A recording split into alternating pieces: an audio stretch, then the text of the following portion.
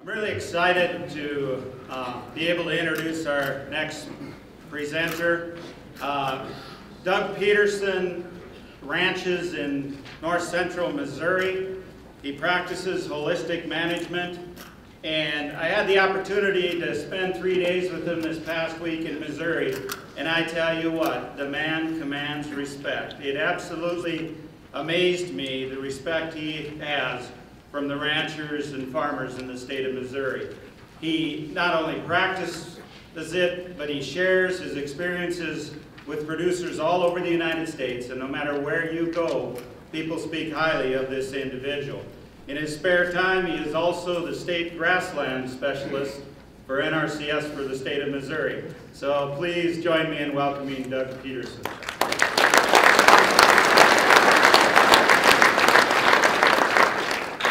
Thanks. I think. Um, it was a it was a great time spending some time with uh, Gabe last week. Um, you know, we've been up here before. We've brought a couple of groups. Am I not working? Didn't sound like I was.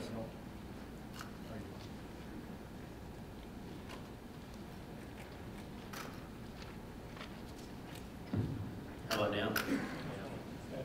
I was gonna have to talk loud. Even if you're from Missouri. Um, as I said, I am a, a, a producer as well. I have to talk quieter now. I'm used to, I'm used to yelling. Um, and, and I'm gonna, I'm gonna, they asked me if I wanted to stand behind the podium or, or have a, have a lapel mic. I said, I don't do the podiums very well. It's a good thing that I went to school a long time ago because they, they'd have probably had some initials behind my name right now, ADD or ADHD or something, because I do not stand still very well. So the camera guy's gonna have to be good. I'll try not to move too much. Um, I, I do, I do uh, run cows with my dad. Um, we run a couple hundred of our own and then a couple hundred contract cows as well. And it's been an interesting road the last few years, some of the things that we've, that we've done. Um, and I'll, and, and I'll go through that, I guess. Um, you know, I've worked for NRCS for about 24 years and, and done a, done some good things, done some things that's probably not as good. Um, Jay and I have talked about that a little bit. So, uh, do, do we need to heal the land? You know, that's the, that's the question. You know, what, what's the land like? And I guess the, hard, the hard thing about going close to last here is everybody this morning and, and the previous speakers have, have stole all the good points. So, so, so some of it's going to be a repeat. But, you know, my question is, you know, do we need to heal the land? Um, you guys have all heard, you know, most of us are producers, I'm guessing, in here. You've all heard that, you know, people in the city, they're, they're so far removed from the farm, they don't know where the milk comes from, right? You guys have heard that? This is yes, this is no. Okay. my kids, my kids, they go, Dad, when you do that. Um, you guys have heard that, you know, the, the, the people in the city are, are so far removed, they're three or four generations removed from the farm, they don't know where the milk comes from. The kids think the milk comes from a, from a store, not a cow. I think that all of us are so far removed, we're three or four generations removed from good, healthy soil. We have, and Jay said it, you know, we have accepted that soil is just what it is. It's a degraded resource. We don't know any better. We just think that's the way it's supposed to be. Um, it wasn't until, you know, we tried, to tried some different things and, and worked with some folks that we saw we could improve that soil much faster than we ever thought. So, what is the canary in the mine of the soil? And, and, this is, and I guess I should, I should clarify too, you know, most of the things that I'm going to talk about obviously are from a little different environment than you guys. You know, we're in a, in a mid 30 inch rainfall area, a lot farther south from here. Um, I don't have any rangeland, it's all, it's all introduced grasses. So, Josh said this morning that the, that the soil health principles are the same anywhere, and I believe that. The principles are the same. My, my talk is probably going to be a little different, uh, have a little different angle than what than what it's gonna be for you and your rangeland or even your tame pastures up here. So, don't, don't take anything I say as a, as a specific recommendation of what you have to do up here, okay? Because it's not. It's, it's my story, it's how we, it's how we deal with our environment and our soils. But I do think the principles are the same. So what's the canary in the mine of the soil? This is, I, usually tell everybody that, that this is an interactive talk, okay? So I realize it's going to be hard for this big group, so I'm going to designate, say, these two tables right here for all y'all, okay? And they have to answer. Is everybody agree to that? Yes. Okay. So, so you guys right here, you got to answer. This is an interactive talk. We're not going on. Organic matter. Okay? Very good answer. Bear spots? Bare spots. I was kind of thinking organic matter. I'll go with that. so, so what do your soil tests show? Very little? One, two? Is that what they are are in this area? Four up and home. Four? Ooh, very good. Okay? So, so what really, what really, Josh, turn that thing a little bit. What really, what really determines the potential uh, organic matter in a given area of, of, of the United States, not just right here? The potential, the potential, not, not your management and what you have now, but the potential. Come on. There, there's a lot more of them than there is you guys. I'm thinking, how much mass can you grow? Very good. Okay. What determines that? Well, I was thinking something that you couldn't control. Moisture. Okay? We'll get into infiltration and stuff in a minute, but basically moisture. Okay? How much rainfall an area gets determines how much plants. Uh, granted, management's going to be different, but how much plant can you grow? So what's the other thing that determines the potential? Growing degree days. A little more. Keep going. Soil health. Okay? What, what, what remineralizes that plant material or breaks it down? The biology, right? And that's what this whole, that's what this whole meeting is about. So the, the potential for a given area, for example, got a friend, well, Ray Archuleta that, that was mentioned there. Um, he lives in North Carolina, and I was down there last winter. You know, their soils are half a percent. So, but they get 60 inches of rain. So, so they can grow a ton of stuff, but what happens to it? The, the, the life is, the, the season of activity for the organisms is so long that they remineralize it. They break it down very, very quickly. Okay? For example, Neil Dennis, that was also mentioned in Canada, um, he, he doesn't get near as much moisture, but his season of activity for the, for the organisms to remineralize it and break it down is much shorter, isn't it? So his potential is a lot higher. It came across, I came across this in a study from Burke and others uh, out of Colorado. And this is, you'll notice, and which button is mine? You'll notice this is carbon. This is not organic matter, okay? Here's a, here's a test question for, for somebody other than Dr. Rukowski. Um, how much organic, how much carbon is in organic matter? 57, 58%, right? Depends on what study you look at. So this is you guys pretty close right here, right? So you're pretty close to 7%, according to this study. This, and they did what they did here was they looked at they looked at soil type, they looked at climate, they looked at temperature, they looked at season of length, they looked at a lot of things. And this is just the potential, okay? Soil organic matter is 58% carbon. So if we're going to change this chart to the potential for soil organic matter, we're going to divide that out, and we come up with, according to here, 12%. Now how many of you have got 12%? Does that 12 make your 4 look a little... Yeah, I feel pretty small. Okay. So, you know, is our soil, is, is it that degraded? Even, even in our, even in our rangeland, even in your, even in your land that hadn't been farmed.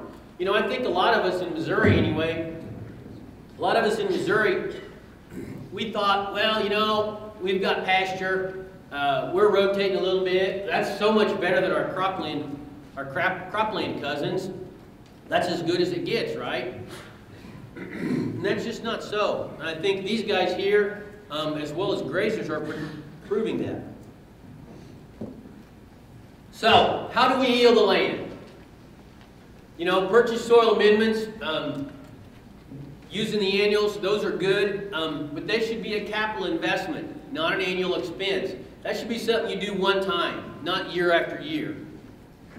So how can we improve soil without purchasing additional inputs, without doing something to the land year after year after year? And I'm not trying to pick up pick on you guys for your cover crops. Well, maybe I am. Can I pick on you a little? Just a little? That's, that's a pretty, that, those are some big guys right there. I bet I can outrun them though. The only known tool to heal the land um, is animal impact. Allan Savory said that. You know, whether you believe that or not, I'm not sure. Um, I don't know that I believe it after seeing some of the things they're doing. But I do know that, that the tool of, of animal impact, the tool of using livestock to heal the land is probably one of the most economical tools you can use to heal that land. Okay? So how did nature build all that soil in the first place? You know, the Midwest is known as the, as the, as the breadbasket to the world, isn't it? We have some incredible soils. We've, we've, we've produced billions of dollars of food out of the, out of the Midwest. How, how did those soils get built to begin with? With grazing, with herbivores, okay? Doesn't work. There it is. So, was it all just bison? No. There was all kinds of herbivores. And, and, and there's all kinds of accounts on how they did it. You know, there are accounts of, of, of vast herds of, of bison and even vast herds of, of antelope and elk, you know, moving through an area, grazing and trampling everything until there was nothing left. Um, there are also accounts of, of smaller family units, you know, 50, 60, maybe even down as small as 10 or 12 family units of bison, you know, camping out on a burned area, uh, grazing all, all season long, and then moving on and probably not coming back the next year. Um, there are also, we, we also know that the that, that all of those herbivores were also influenced a great deal by predators. You know, the wolves. Um, that's a. I was in Montana yesterday, and that's a that's a different. The wolves over there is doesn't evoke a, a very popular uh, thing, but but the predators made a made a made an impact on those grazing animals and influenced what they did and how they moved. You know, animals that were being harassed or pressured by predators would move in a very different manner and would have a much different impact on the land than animals that were just moving along slowly and grazing. And it's that, it's that impact, that, that impact of those animals that we are trying to, to simulate a little bit um, with our high density grazing. So what is stock density? That's the term that I'm going to use, and I want to make sure everybody understands that um, really, really clearly. And I got to start talking faster. And you guys can, I can probably talk at three or four hundred words a minute. You guys can can can listen and comprehend at about 1,200 words a minute. So if I talk faster, you're going to be all right. Let's say we got, let's say we got 160 head of 1,250 pound cows. You know, that's 200,000 pounds of, of beef on the hoof. Realistically, that can be, you know, it could be, it could be stockers, it could be cows, it could be, it could be goats or sheep. It, it'd be a lot of goats and sheep though, wouldn't it? So we put those, we put those 160 cows on 100 acres. Now, they're not going to be spread perfectly uniform, but if they were, okay, if, if that 200,000 pounds was spread out over 100 acres, how many pounds is going to be on each acre? Come on. Now, I was over there in, in Montana yesterday, and uh, they were they were pretty quick on, on the math, but I don't know, are you guys going to be as quick? 2,000. Okay. We had, we had two answers, but we got one right anyway. We put them on 10 acres. What's that going to be? Twenty thousand. 20,000. Okay, quickly. This is the easy one. Anybody can get this. Even an NRCS guy, right? Okay. Um, I like to have a good time if you can't tell. Can, can those, if we put those, if we put those animals on those three different areas, you know, and the same amount of forage is out there, are they gonna be able to stay on there the same length of time? No. Uh, Do, do you think they're gonna have the same impact on those three areas if we left them on there the same length of time? Are they gonna graze it as uniformly?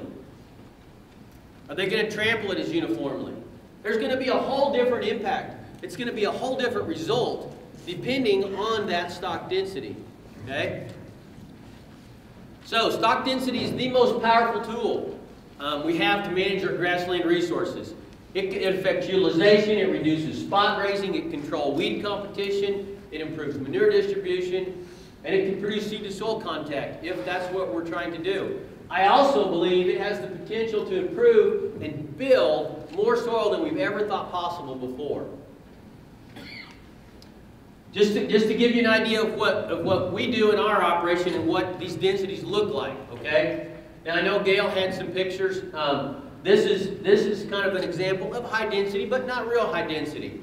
You can see this is actually 200 pair uh, in June, and they're on, a, they're on a, a small area right there. The fence was here, polywire, and then here, and here, and we're going, we're going away from the water. They do have access back to the water, but they basically live in the fresh area. Okay? I just want you to look at the spacing. This is about 80 or 90,000 pounds of stock density. Okay? Just as a frame of reference is all we're looking at here. That's a close-up shot. Now, obviously that's some pretty big stuff, isn't it? You think they're going to eat all of that? No. In this case, we, we weren't really pushing them. These were cows that, contract cows that we were trying to not not fatten, but we didn't want to hurt them at all. So they, they were they were had a pretty easy life. Um, they were trampling a little bit. Uh, they did, they came to us in pretty pretty poor shape, so we were trying to be easy on them. Um, but just just kind of look at the spacing. About 80,000. Now this is a different set of contract cows. There's 250 pair here, and they're on about two and a half acres. Okay, stock density up about 160, 170. Again, you know, a lot of times I have people say, well, you can't even put 250 cows on two acres. There's not enough room. Does it look like plenty of room, you guys? Okay? So just, just kind of looking at the, looking at the spacing there. Now, here's one. These are not my pictures. These are from Kirk Gadzia out of, out of Texas, but they're really cool. Just shows a couple of things here. There's 500, there's 500 steers there. Can you see them? How about now? Now, here's the question for, for, for the guys here. Time lapse between the two pictures. A day? Hours? Any more? Fifteen minutes. Oh, now see, there we got somebody that knows the answer. About 15, 20 minutes, okay? Your, your clue is if you look at that Charolais steer right there. He didn't, didn't go very far, did he? Okay? Now, obviously, that's an annual, but, but that's what these guys are talking about, you know? And I, I'm sure some of, the, some of the folks here have done some of that as well. That was, by the way, that was, that was about 400,000 pounds of stock density. Okay? So what's the big deal? You know, we've all had grazing systems before. We've rotated and, and you know, I try to take care of my grass, do a soil test. What's the big deal about this high density thing, this mob grazing thing? And I, and I hate that term really. I don't hate it, but it doesn't tell me anything really. So, soil health, water cycle, mineral cycle, and diversity. Those are the four things we're going to hit on real quick. Um, this is, this, is a, this is a picture from South Missouri on a friend Mark Bradley. Um, you got a little, you got an area of clover right here. grass all the way around it. What do you guys think? Now, he did not, he didn't fertilize, he didn't broadcast any seed. What do you guys think created that little spot of clover right there? He fed a bale of hay. This guy's getting sharp now. So, so what did feeding that bale of hay do right there for that area? There was no clover seed in it, he swears. It was all grass hay. What did it do? This is a soil health conference, so you got to think on those lines, right? It increased the organic matter. Okay? Obviously the cows didn't eat it all. So what did that what did that layer of organic matter on the surface of the soil do? It kept it cooler. It fed the soil biology. Probably increased infiltration a little bit. It brought in some nutrients. There's no doubt. I'll give you that. Okay? But basically, that that plant material, that dead plant material, created a perfect environment for the soil biology. It increased water infiltration. It created. It didn't change the. It, it didn't change the pH alter the soil profile, but it did change the pH in a little narrow band that allowed the clover seed that was already there to germinate. So that, that led us to this question. Can we build soil fertility simply by adding plant material to the soil? No fertilizer, no annuals, nothing else. Can we do that? This is the place I took over in 07. Um, it had been continuously grazed for years when we, when we took it over in 07. We used some stock density on it in 07. And then we came back in 08 and we let it grow all year long. And this is some pretty high quality pasture, can't you tell? There, there might be a few grass plants down in there, but not much. It was pretty abused. A lot of annuals, Queen Anne's lace, a lot of different things. So we came in and, and trampled it um, for 12 hours. And then 10 days later, you're going to see this picture. Okay? You see all the all that green stuff? That's all clover. No clover was spread, no lime was put on it, and by the way, this that's a that's a that's a ray. That's a ray for you. By the way, Ray Archuleta. By the way, no lime. The, the pH on this is probably five. What did we do? We trampled down in, in two years of trampling. We changed the pH right at the surface, not through the whole soil profile, but right at that surface. We, we made more, more fertility available. We enhanced the water infiltration. We created an environment that we could get a tremendous amount of clover. Now, that, that, that field turned from clover in a year, then the next year it was grass, and I need to take a picture of it now. But now it's a, it's a, it's a great stand of grass, simply by the, using the tool of animal impact and, and high density to treat that field. That's a close-up. Any, any bare soil? No bare soil. Now, we still have some green leaves out here to, to carry on photosynthesis, but that is what we did. So, how do we build that soil? Well, first, we're, we're looking at a plant that is fully recovered. We want a plant that's as big as possible, okay? We want a plant that is, that is big and tall, that has as much above ground biomass as possible. So then we can have as big a root system as possible. This is from a study up in Canada in the 60s. Um, everybody's probably seen that, but it's just a great photo. Longer rest periods mean more, more roots, more plant material. How long is the rest period up here? I don't know, and I'm not going to claim to. Okay? In our part of the world, to get a plant to this condition right here, depending on the year, depending on the moisture, you're probably looking at anywhere from 70 or 80 days to 120 days. If I'm going to err in, in, in, in my frame right now, my, my mindset where we're trying to build soil, I want to make sure my plants are in this condition. There's times when we can graze them over in here, but if I'm going to make an error on the, the length of the grazing period right now, I want that length of the grazing period to be too long. I never want to cheat it too short. I want to make it too long. So if I have a plant that's a little too mature, that's fine. What does that do? It feeds the microorganisms. As I understand it, I'm not a, I'm not a microbiologist, but as I understand it, the number one food source for, a, for that soil biology for the majority of it is a living plant root. So which one's going to have a better food source? Now, I know, I know what you guys are thinking, right? That, that top number up there, it's not that non-alien or whatever that he said, but most of you are probably thinking that's like the federal deficit right now, right? Well, it's not. Believe it or not, it's bigger, okay? Um, the, the point is, is not that, you know, this is going to be the exact numbers and everything. This is just a shot from the Soil food web. The, the point is not that this is what you want. The point is that we have livestock up here. As a livestock producer, I have cattle. Some of them have sheep. I have, I have livestock up here. But we also have livestock in the soil. And we need to, we need to call them that. We need to treat them like livestock. Um, we need to feed them. Do you, do you, as a livestock producer, do you purposely feed your soil livestock? With purpose and intent. Do you purposely feed your soil livestock?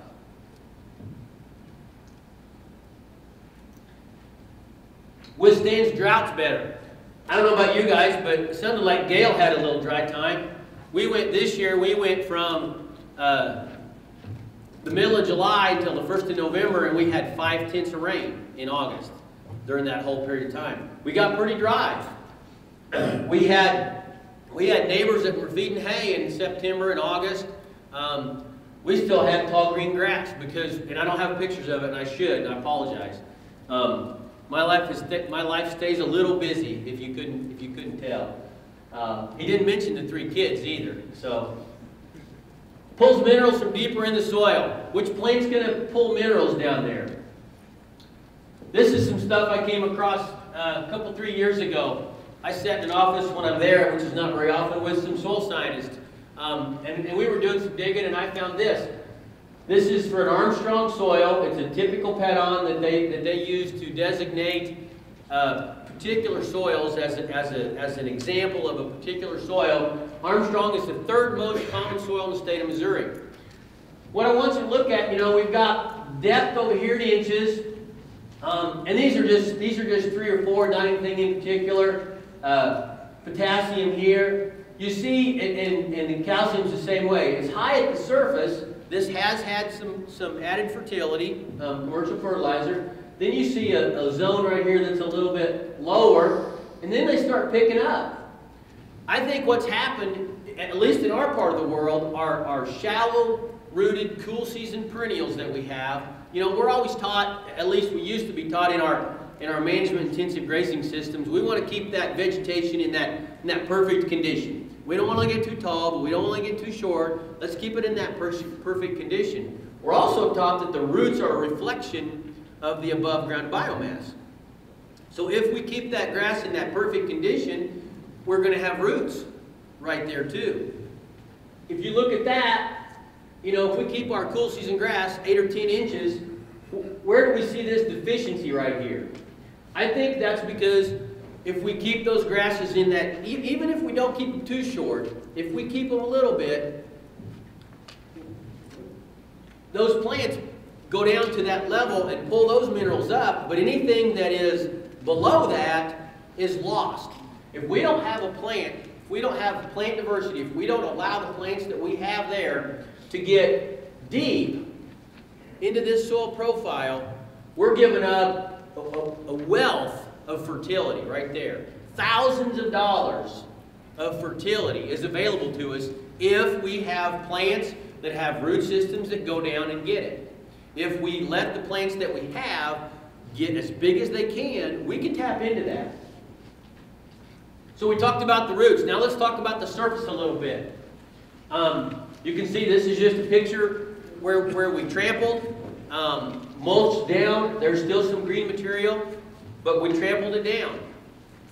That taller canopy from that last picture allows us the opportunity to trample more material. The taller it is, the more material we have, excuse me, the more we can trample onto the surface of the soil. What does that, what does that do? You know, there's, you saw pictures from, from uh, soil temperature. This is just a couple I took. How far apart did I take these? Five feet. Five feet apart, okay? Now, this was a hay field. It's still got some, it's still got some mulch and some cover on it. That's not even bare ground. This one right over here, okay? What's really, what's really neat is we've, and I don't have pictures, we've done a little bit of, a little bit of monitoring of, of the, the air temperature above the surface of the soil in that taller canopy. Um, typically, our cool season grasses go into a slump in the middle of the summer because if they're short, they get hot and it, you know, the soil heats up.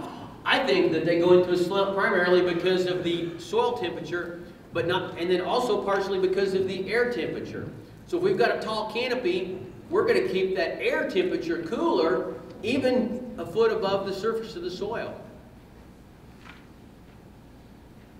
Improves water infiltration. You know, in our part of the world, we get 30 some inches, of 30, 30 to 35 inches, 36 inches of moisture. But you guys, your state, your state, or the, the, some of the corn yields that I've heard are very comparable to our state average. We get three times as much water. What's happening to it? It's all running off.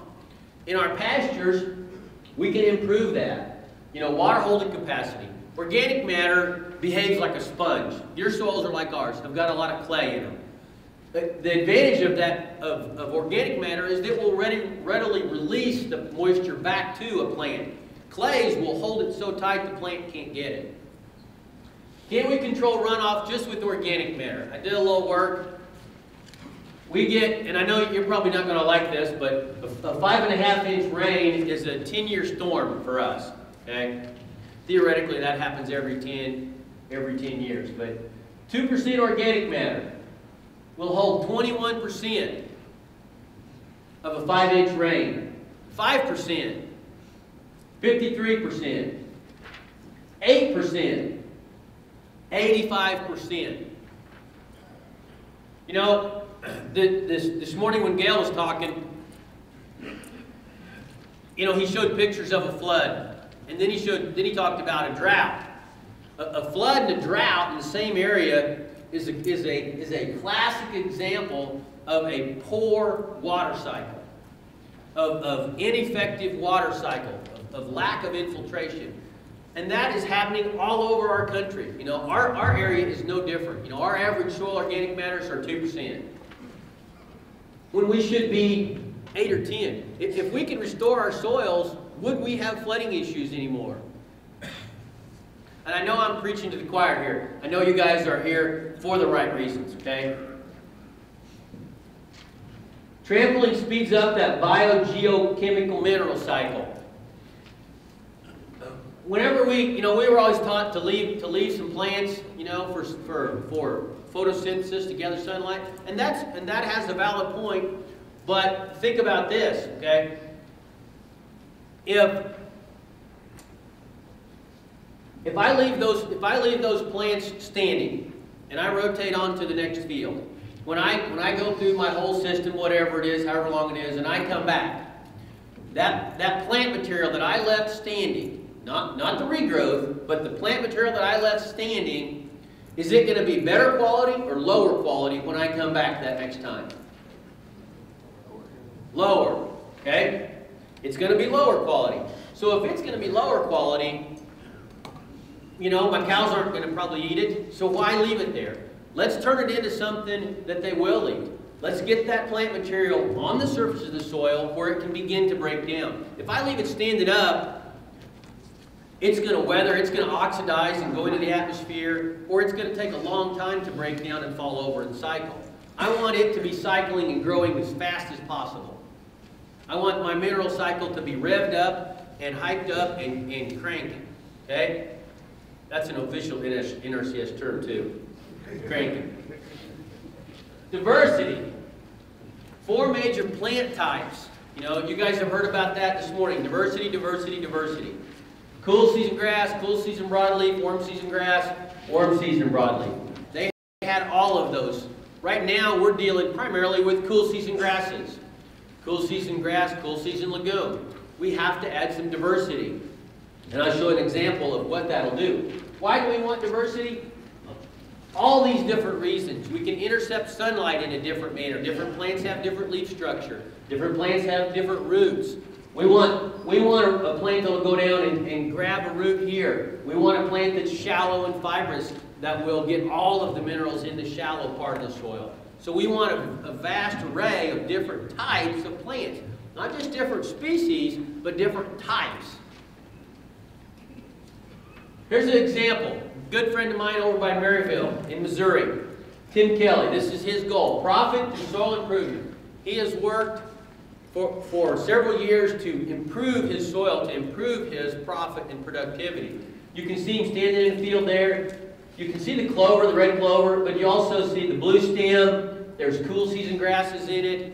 There is, there is trefoil, red clover, white clover, Lespedeza, timothy, orchard grass, brome, bluegrass, fescue, blue stem, Indian grass. Okay, it's, it's a, and this is all established. This is not a prairie. Um, there's virtually no prairies left in, in, in our part of the world. So that's a close-up. Now, obviously, he's strip grazing through here. There's a fence right on the other side of him. Um, there's a lot more cows than that, but uh, obviously they're not doing much with the blue stem. It's pretty mature at this time right now. Um, so, so they're trampling a lot of it down. Now, he's not making them eat everything, as you can see. That ensures a little bit of animal performance. If, if you make everything go to the ground, you know, do you know if they, if they went hungry or not? If there's a little bit left standing, that's kind of your clue that, well, there was a little something they could eat. Okay? So here's a close-up. We got cool season grasses underneath. We got the warm season over top. So what has that mixture of diversity and high density done to his organic matter levels? Um, 10 years apart, we went from 3.9 to 6.9 on some fields, and this is not just one field, this is several fields. Same way here on all these. This one's a little shorter time frame. These soil tests, both years, were taken by a professional agronomist, a hired consultant, not by the landowner. Okay, so they were not biased by the landowner. We can build soil a lot faster than we ever thought possible. Um, you know, NRCS has, in a lot of offices, um, we have a poster that, that says, you know, in the time it took to build an inch of topsoil, all these things happened. Okay? And, it, and it's 400 and some years. I don't believe that anymore. Um, there's just too many examples like Tim's and, and, many, many other people that are using this tool to, to just, to just increase and create a, a whole different level of, of soil production. So what has that done to forage production? Okay? The average for North Missouri, the average forage production for, for just medium productivity, medium soil, um, is about 8,000 pounds a year. 8,000 pounds is kind of the average. Now we're talking perennials, not annuals. You know, these guys, they're cheating with these, with these annuals over here, okay? That's another discussion. Tim has produced a measured 18,000 pounds of forage per year. No, no added fertility for seven or eight years. Management and diversity. He didn't drag a drill across it. He didn't put any fertilizer on it. He grazed the cows on it. Okay? You think that'd make a difference on your bottom line? A little bit? Animal performance. I, I, I'd be very remiss in, in not talking about performance. It's one of the, it's one of the most important parts of this, okay? If it's managed properly, it's really good. If you don't manage it properly, you can hurt performance on some cows. You know, I, I, did, I did a meeting like this up in Iowa a couple of years ago, sort of like this anyway. And and I said that, you know, I said that, that our first year or two, when we were really, when we were really getting aggressive with the density, you know, you can make those cows, when you hold them tight, you can make them, you can make them graze the, the thatch off the ground if you wanted them to. Um, they become very aggressive grazers. And, and you'll think, wow, they're doing, you know, they're eating along and they're, they're just eating everything. You have to watch performance. I was in a meeting in Iowa and, and I said, you know, we heard some, we heard performance on some cows, and there was a row of guys sitting over here, and, and they all started laughing except for one guy, and he kind of had his head down. And I said, I didn't think hurting performance on cows, you know, really hurting them was, was funny. And the guy lifted up, he said, he said it wasn't. He said, I killed some cows. Now, probably there was some underlying issues, some other health issues with those cows, but the point is, he was, he was so hard on them. He was making them eat parts of the plant that didn't meet their nutritional needs. You can't make them eat something that doesn't meet their nutritional needs. That's what goes on the ground. I can, I can make them eat every, every last plant if I want to, because they become so aggressive. So if it's managed properly, performance can be really good. Energy protein ratio, they can balance it. You know, if you haven't ever heard Fred Provenza talk um, from Utah State, just, just, they've done incredible work on, on livestock selectivity. And so while we want to use stock density as a tool, we don't want to remove completely livestock selectivity. We still have to let them choose and mix the parts of the plant that make that allow them to perform to our desired level. Um, the biggest mistake people make is what I said, scorched earth grazing, is eating everything down into the dirt, okay? You, if, if, if that's a goal that you want to do, that's fine. But understand, you're not going to be able to use those cows in that manner for a long period of time. You know, cows are, cows are an awesome tool. We can make them, we can make them work for a week or two, make them work really hard. And then we got to give them some time off if we did that. Now, if we don't make them work that hard, we don't have to give them that time off. But depending on what you're doing, that's, that's what you have to look at. You have to pay attention to animal performance. Um, most of the time, the goal should be 60% or less utilization by the livestock. Um, if, if we're grazing a really mature plant, you know, plant that's big and tall, we're probably only going to only have 20 or 30% of it that's going to meet the nutritional needs of that cow. So we're going to trample 60 or 70 or 80%. Okay? The, the, other, the other thing that I see is people say, well, I want to I want to get to 100,000 stock density. That's just a really cool number, right? 100,000, six figures. The problem is, to get to that, with 1,250 pound cows, eating 2.5% of their body weight, utilizing 60%, and only moving once a day, you got to have 4,000 pounds of forage. That's probably going to be doable on your, on your annuals, but I don't know about some of your rangeland. You'll have to do some math on that. How to make it work easily. You know, equipment, water systems, fence systems, um, livestock. The, all, of those things are part of it. Those are all those are all the equipment. You know, when you go out to plant, when you go out to bale hay, you have to have the right equipment. And it's the same with with grazing livestock in this manner. You've got to have the right equipment. You've got to have a, a, a, some poly reels and some fence posts. You've got to have livestock that can tolerate you being that close to them. You've got to have livestock that are calm. You've got to have animals that do well on forage. You know, and that's a, that's a whole other talk. But that's the thing you got to get out of the way. That's the biggest thing with all of this, with all this soil health stuff. You got to get that but out of the way.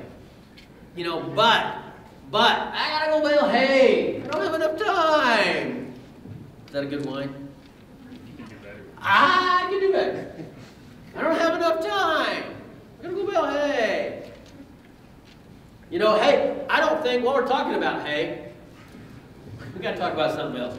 I don't think we, I don't think any of us realize how, how damaging haying is to the soil in that area where we're, even if we feed it back. Um, I, I just, you know, I don't think we, we understand how, how damaging. We're removing nutrients, but we're also removing a food source for that soil biology. We're, we're taking that off. We're heating that soil up. We're killing soil biology when we, when we take that hay off of there because that ground gets hot fast, doesn't it?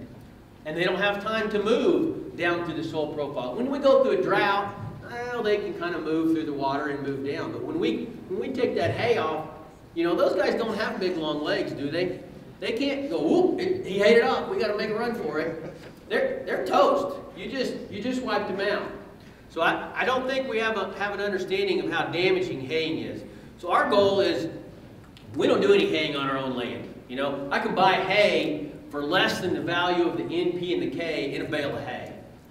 You know, now I know anybody in here that sells, this is the time where anybody in here that sells hay, close your ears, okay?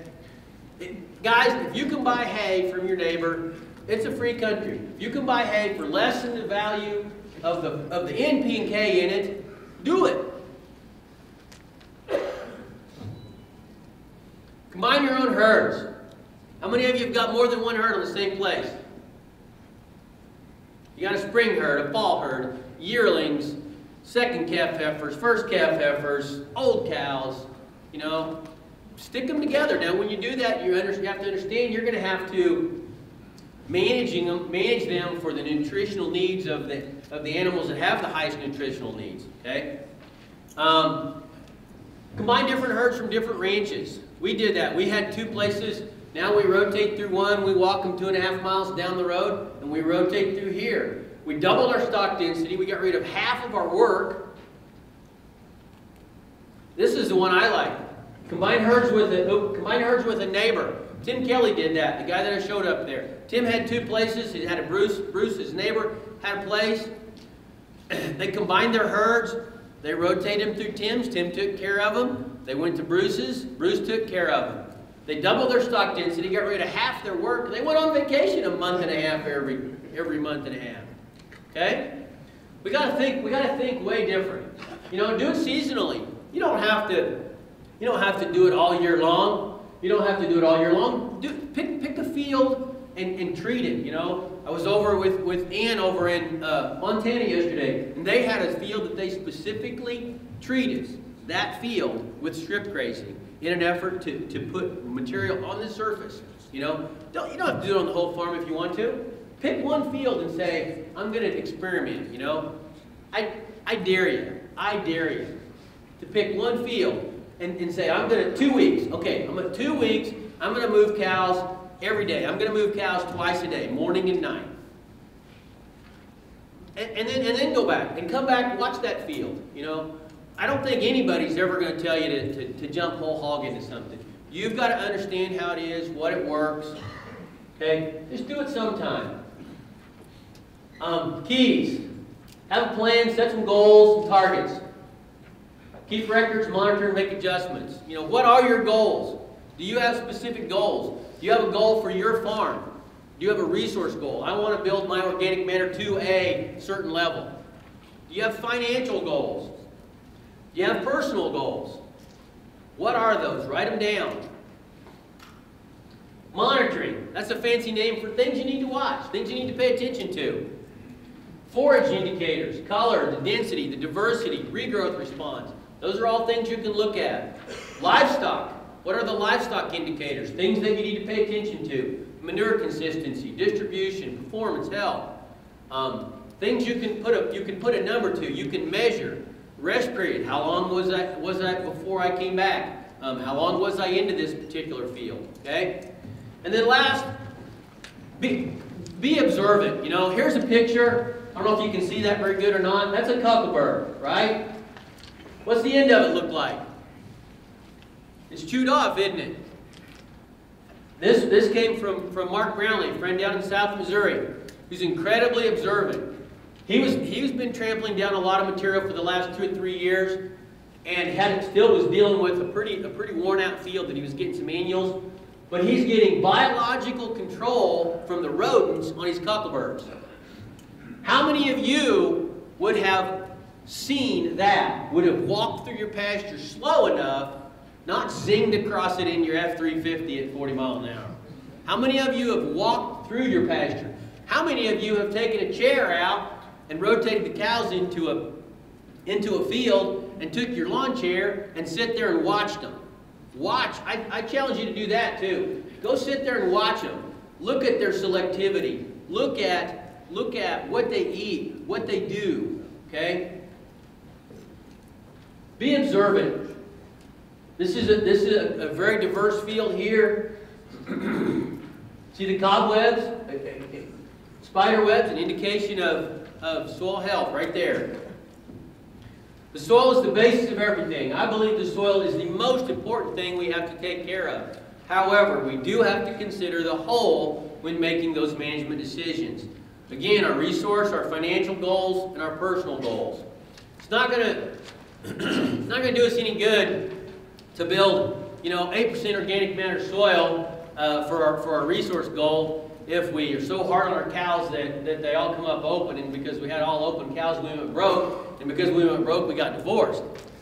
You know, we, we have to integrate all of those things together, okay? That is what holistic management teaches, is to integrate everything. Everything has to be, has to be a part of everything else.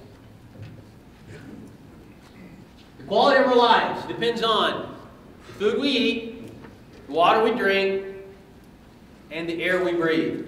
All those things depend on the quality of the soil. Thank you.